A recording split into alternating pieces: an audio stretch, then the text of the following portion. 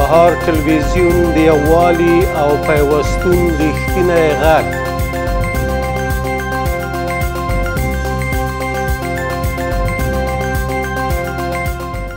دونالد ترامپ رئیس جمهور امریکا می‌گوید به جنگ افغانستان پایان می دهیم و نیروها را خارج می کنیم. دونالد ترامپ رئیس جمهور امریکا در نشست مجمع عمومی سازمان ملل متحد در نیویورک گفت که به جنگ افغانستان پایان خواهد داد و نیروهای امریکایی را از افغانستان خارج خواهد کرد.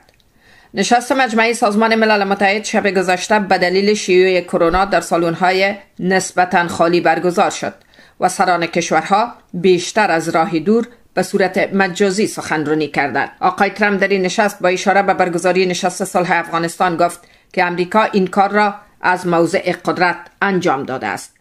او گفت که ایالات متحده امریکا برای پایان دادن به جنگ افغانستان کار می کند. او تاکید کرده که واشنگتن سربازان خود را به وطن برخواهد گرداند.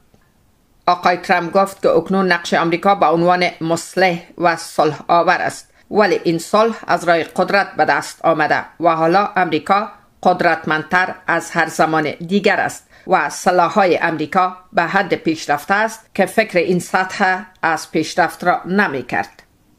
در این میان زلمه خلیلزاد نماینده ویژه امریکا برای صلح افغانستان نیز برای توضیح درباره خروج نیروهای امریکایی از افغانستان به کنگرس امریکا فراخوانده شده بود.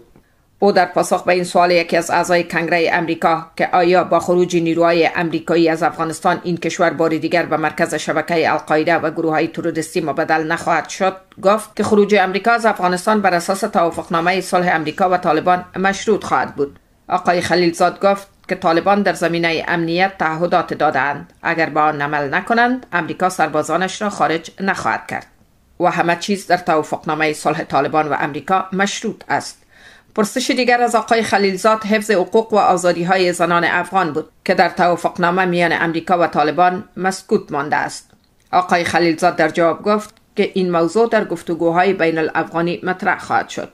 او گفت که امریکا نیز این روند را نظارت کرده و به همکاری و حمایت خود از زنان افغان ادامه خواهد داد.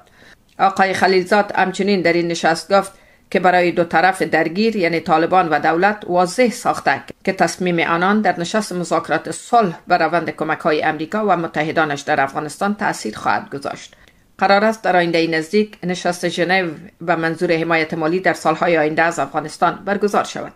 قابل ذکر است که از شروع مذاکرات بین الافغانی صلح افغانستان بیش از یک هفته میگذرد ولی هیئت های دو طرف تا کنون نتوانستند که اختلاف بر سر طرز العمل مذاکره را حل کنند. به تازگی شورای عالی مصالحه افغانستان گفته که به زودی در مورد طرز عمل مذاکرات با طالبان به نتیجه خواهند رسید. بعضی از اعضای هیئت مذاکره کننده دولت در دوحه هم گفتند تا یکی دو روز آینده در مورد اختلافات موجود به توافق خواهند رسید. با امید آن روز می‌رسیم به ختم گزارش امروز. نظیر عظیم کریمی خبرنگار آزاد واشنگتن دی سی